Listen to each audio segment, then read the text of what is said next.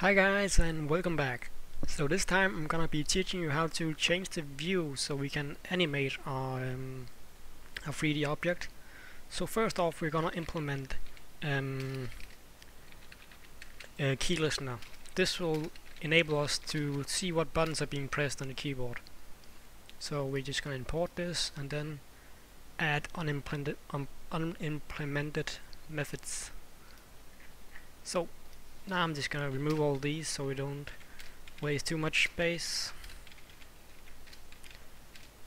So now, um, here we're gonna check if uh, any of the arrow keys are being pressed.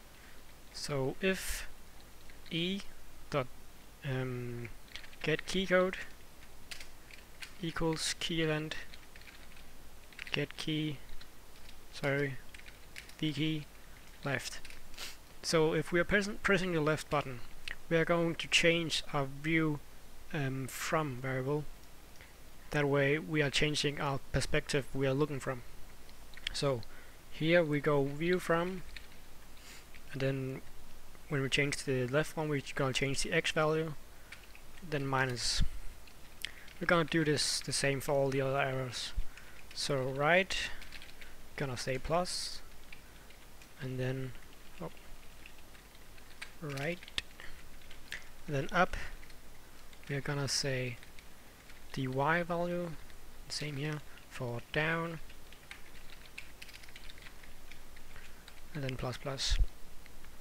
Um, and another thing we need to add when we have this key listener we need to actually add it here. So we write add key listener. And then just type this in these brackets. And then the last thing we need before the key um, key presses are being being recognized, we need to say set focusable and then true in here. So now our keys are being pressed, but our deep uh, our polygons aren't really updating because they only updated once we started this. So I'm gonna make a new function in here called void update polygon. And in here I'm gonna take all this and then paste it in here.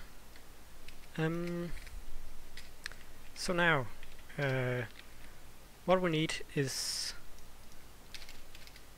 um, so in here we we create a new polygon with this class. We need to change it so we we have these this old polygon we just edited. So we need to save this number somehow. So I've already made the integer poly set it equal to zero. So in here I've already done that as well. We set the poly equal to the um, the screen number of polygons, so we can save these this specific uh, polygon and tie it to this 3D polygon. So down here in the update polygon, instead of writing screen dot number of polygons in here, we're gonna write poly. That way we we change our specific uh, polygon. But remember when we call this function new polygon object, we said we're gonna increase the number of polygons by one. We're not gonna do that here because we're just changing it, we're not adding another one. So we're gonna write screen dot number of polygons minus minus. That way we won't get any errors. So now we can update the polygon. Also I've actually changed this. Before it was just 200 times this. Now it's 500 and then a smaller smaller number times it. Um, that way it'll be smaller and centered in almost the middle of the screen. So now we're going to call this update polygon. Just gonna call it in here. Gonna use our dpoly for now. dpoly1 dot update polygon. So this is gonna be updated. I'm gonna put it down here.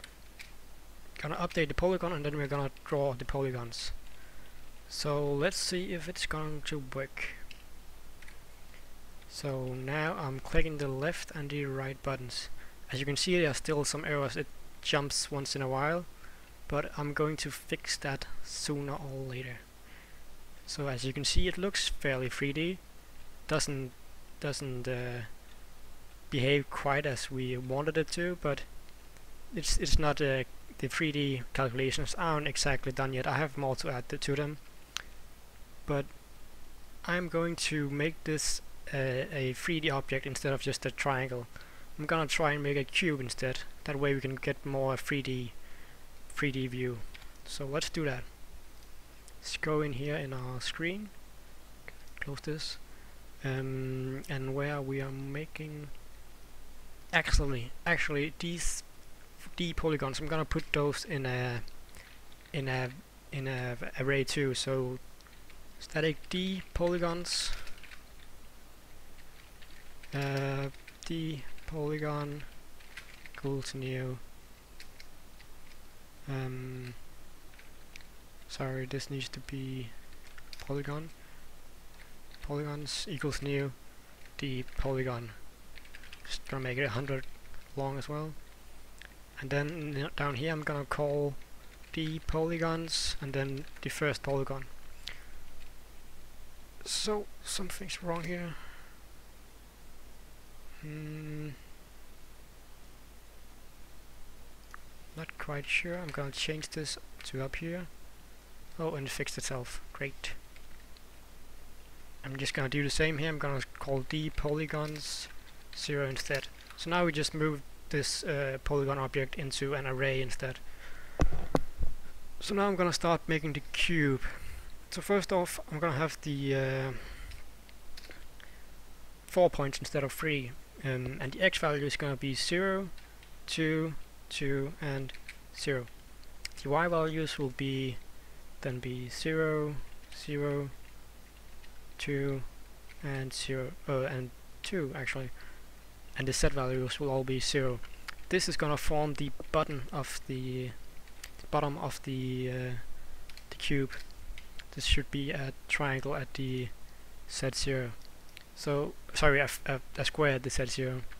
So I'm also gonna do this for the top. I'm just gonna change the z value. Uh, so I'm just gonna change it to three. Oops. I'm gonna see Actually, we need to run a loop here instead. Um, we're gonna do the same what we did for the normal polygons as we're gonna we're gonna do that to the 3D polygons. So we're gonna have this static number of polygons. We're gonna have number of 3D polygons. And once we create one of these, we're gonna say screen dot number of 3D polygons, then increment that.